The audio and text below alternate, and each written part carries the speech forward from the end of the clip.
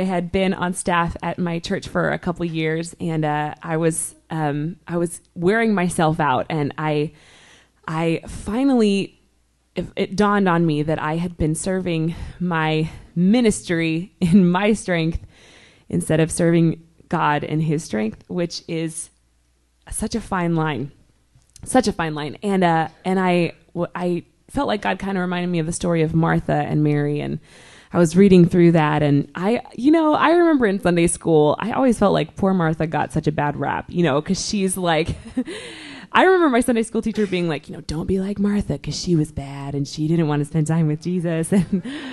And, and that is not at all what happened. This is what happened. I'm going to retell poor Martha's story. She's like, you know, she knows her friend Jesus is coming and she's getting her house all ready. She's like vacuuming. She probably wasn't vacuuming, sweeping. And she's like baking a quiche or something like we had this morning. And she's getting everything ready for Jesus who's coming. And she's so excited. And and so Jesus gets there, and she's still, you know, hurrying around and, and trying to get everything ready. And, and she looks over in the corner, and there's her whiny, wimpy sister Mary sitting over there just hanging out with Jesus, which is what Martha wanted to do the whole time. She wanted to spend time with him, and she looks over there. And if I had been Martha, I would be super irritated. I would have been like, for real, seriously, you couldn't sweep a little bit more, like. So, but the thing I love about that story is that Jesus knew Martha's heart and he he comes over to her and he says, "Martha, you are anxious and troubled about many things."